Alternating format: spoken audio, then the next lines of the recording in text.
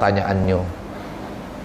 Jadi kalau bahasa Indonesia ni maklar. Kalau bahasa asingnya tukang ulo. Lah, tukang ulo lah. Nah, ngulo. Arti ngulo tu manjang ke, ngerayap, ya? Nah. Ngulo ni Pak, palak nyetut, buntut melit, kaki ngerajang ke? Tak tahu aku ulo tu ada kaki yang tidak. Ya. Nah, selama caranya benar, akadnya benar boleh. Boleh. Ustaz Fauji punya katakanlah sebidang tanah. Ngomong sama anak, Ustaz, kalau ada uang nak mencari tanah, ukuran sekian kali sekian, panjang lebarnya, Ustaz tolong tawar ke. Ya. Aku minta harganya sekian. Nah, andai kata Ustaz nak nawar ke sekian lebih dari situ, itu rezeki Ustaz. Boleh tak? Ada ijab kabul kan? Boleh. Tak apa-apa, Pak. Ya. Atau andai kata tidak laku barang itu dari har, dari dari target Ustaz, tapi tidak laku dengan target ana. Ya. Aku unjuk Ustaz komisinya dua setengah persen. Boleh tak? Boleh. Tak apa-apa. Ya. Tak apa-apa, silakan. Karena ada ijab kabul, akadnya je, akadnya jelas. Maka itu kita perlu ditegaskan dengan akad. Ya. Jangan dah kati akad, kaget jadi fitnah di belakang hari. Pokoknya jual ke lah pak. Ya dah. Untuk bapak kaget adolah. Nah adolah tu mak mano. Cerita adolah tu. Laku ni kan berlakuan, kege minyak martabak dan pempek telok wae. Ai. Mak mano kita nak nuntut? Nak nuntut siapa? Ya dah. Oh kau ni dua setengah persen. Anak tidak ngomong dua setengah persen kan anak ngomong adolah. Ya dah. Loh, kapan berlakuannya, berjadian? Sudah, bungkus kenyang martabak dan pempek telur. Ya tak? Uji kita martabak pempek telur ni tidak wajib. Kenapa? Beras tak ganti. Ya carilah dewek je nak tambah purik. Itu asal akadnya je jelas. Apa yang dimaksud dengan ikhlas Terima kasih Jadi kalau ditanya apa yang dimaksud dengan ikhlas? Ikhlas itu dari asal itu isim mustaq dari kata khalaso. Arti ikhlas itu bisa berarti murni. Bisa berarti bersih. Juga bisa berarti suci. Nah, kalau kita nisbahkan dengan suatu amal perbuatan, memang amal yang dilakukan bersih dari tujuan-tujuan tercela bersih daripada niat-niat yang kotor.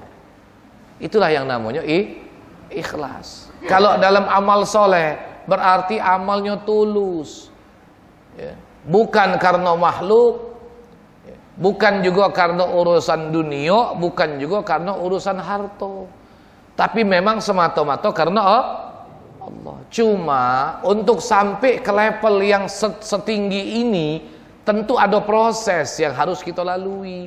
Makanya para ulama membagi tingkatan ikhlas itu ada tingkatan ikhlasul uh, ula, ya, ada tingkatan ikhlasul wusta, ada tingkatan ikhlasul ulia.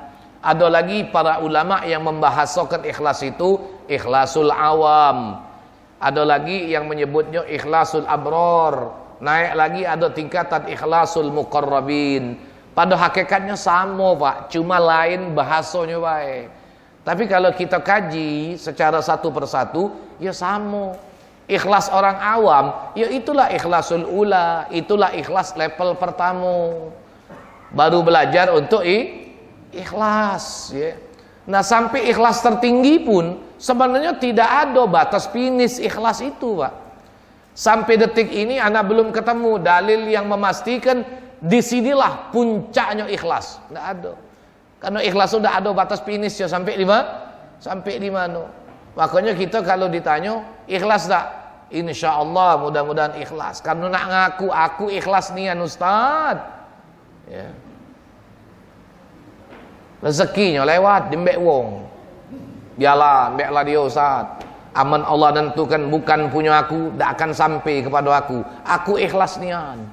Tapi minggu depan masih cerita kenya lagi. Uji ente ikhlas. Ya. Nah inilah namanya ikhlas orang awam. Ya, ikhlas wong ah? Nah, inilah ikhlas orang awam. Jadi itulah barangkali Pak ya maksud daripada eh, ikhlas tadi. Tidak ada tujuan yang lain kecuali semata-mata ditujukan kepada nah, kepada Allah. Tapi Ustaz kita nih kadang-kadang ada gangguan biasa bae Pak. Kita nih wong awam ya. Iyo. Nah, bukan berarti amal kita tuh tidak katik nilai sama sekali ya.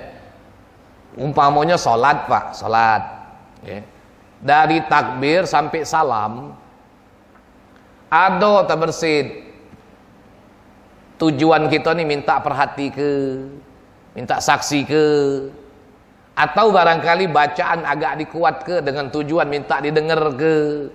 Ya. Nah berarti sudah kurang nilai ikhlasnya. Ya bukan berarti itu tidak diterima sama sekali. Insya Allah masih diterima oleh Allah. Tapi barangkali nilainya yang kurang sempur nah, kurang sempurna. Sepanjang sholat dari takbir sampai salam ada ikhlas sedikit nah insya Allah sholatnya sudah ada nilai ikhlas. Walaupun barangkali masih sangat minim nilai ikhlasnya tadi dalam sholat dalam sholat itu. Tapi ada catatan dia orang yang ikhlas. Dari uh, salah seorang imam masjid. Berkenaan dengan situasi sekarang ini banyak imam yang takut jadi imam sekarang ini banyak ancaman-ancaman jadi uh, bagaimana tindakan imam Ustaz kalau dia menjadi imam terjadi seumpama banyak terjadi sekarang banyak uh, di, mungkin ngomong dari luar Islam atau ingin mencelakai seorang imam tapi dia lagi imam, lagi jadi imam. Nah, apa tindakan beliau? Waktu misalnya dia nak dicelakai, apa dia membatalkan sholat itu, atau dia menghindar, atau biarlah makmum yang belakang yang melindunginya. Nah, ini minta penjelasan soal itu, ini. Yo. Jadi memang fenomena sekarang ya kita ini seolah-olah bukan seolah-olah ya.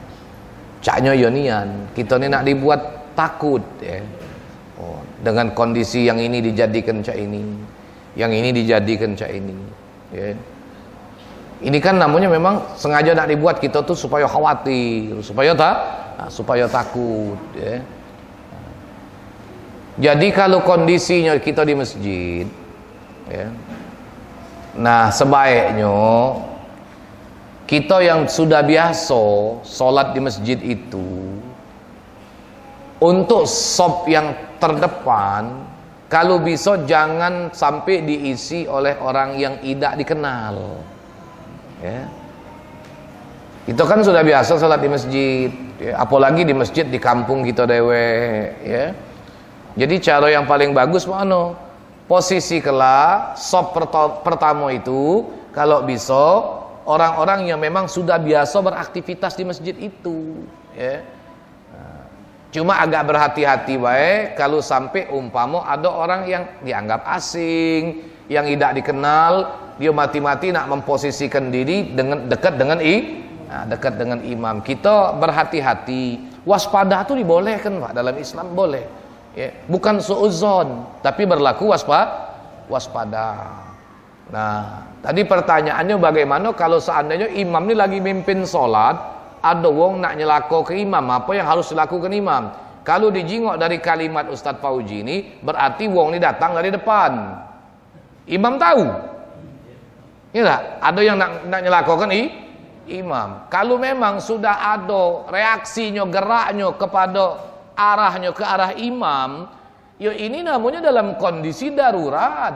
Ya Dalam kondisi darurat darurat nak nganggap ke makmum kalau makmum keluruan Memakmum ngantuk. Lah. Ya. Kalau makmumnya ngantuk, imam salah lagi dia Nu aku dah keluruan juga sama baik. Kata imamnya salah, makmumnya dah ketahuan padahal dia tegak di belakang i belakang imam. Uji kita imam tadi tu salah macam ayat, terlewat dua ayat. Tak tahu Ustaz, aku dah keluruan juga. Jadi kau ni semayang pungon, apa ngantuk? Ya. Ya kadang-kadang kan imam baca ayat, baca surat, belum tentu juga makmum di belakang tu hafal. Iya tak? Nah, jadi kalau memang kondisinya imam tahu ada gerakan yang membahayakan datang ke arah imam, ya boleh membela diri. Tidak apa-apa, Pak. Ya. Apa-apa. Ya cuma solatnya batal. Ya, metu lah yang jago kuntau tu. Iya, yang pacak karate, yang pintar pencak silat, laju. Ya. Nah kalau memang itu kan ngancam keselamat, keselamatan, ya tak? Tidak apa-apa. Nah, kalau makmum yang lain bertindak Ustaz, nah itu di luar daripada kontrol imam, ya tak? Ya makmum juga berlaku mesti waspada, mesti waspada, ya. Walaupun kondisi kita dalam kondisi so, solat, andai kata kita sampai terjadi juga bukan minta-minta, ya kita ada ada respon untuk jaga di nah, respon untuk jaga diri ya tak? tapi sholatnya bah sholatnya batal. Kalau dia sampai melakukan gerakan apalagi melakukan gerakan untuk apa namanya upaya pembelaan terhadap di terhadap dirinya ya. Tidak apa-apa ya. Tidak apa-apa. Nah jangan baik sambil semayang jadi imam nyelip ke cap garpu. Ada di foto-foto medsos tu ya. Foto-foto di medsos tu. Eh tak? Semayang Aku geli nengoknya. Ya Allah. Ya. Inilah akibat teror yang sedang yang sedang apa yang sudah dirasakan saat ini. Ada kiai gambar di medsos sambil buka kitab golok pak sengkang di pinggangnya. Ada yang megang pedang sambil maco ki, sambil maco kitab. Ya. ya artinya kita juga mesti waspada. Bukan cuma dalam kondisi sholat baik. Duduk di majelis baik juga mah itu. Ya enggak? Duduk di majelis. Kita mesti hati-hati. Ah, mesti hati-hati Ya, pecah saya Ali Jabir kemarin kan? Tiga minggu yang lalu itu ya.